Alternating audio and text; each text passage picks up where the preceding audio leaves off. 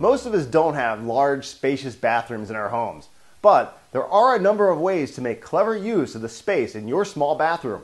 Firstly, maximize space. Replace the bathtub with a shower, use wall mounted and recessed cabinets, and install a wall hung sink and toilet. Design the room to look and feel bigger. Install a large window to let in lots of natural light. And enhance this with a large mirror and use of pale, soft colors to make your bathroom seem bright and airy. Create clever storage solutions by using wall mounted recessed shelving and cabinets. And finally, add a touch of luxury. Install fogless mirrors and a towel warmer. Create a soothing ambiance with candles and tinted light bulbs. And install a stereo system with speakers mounted near the ceiling.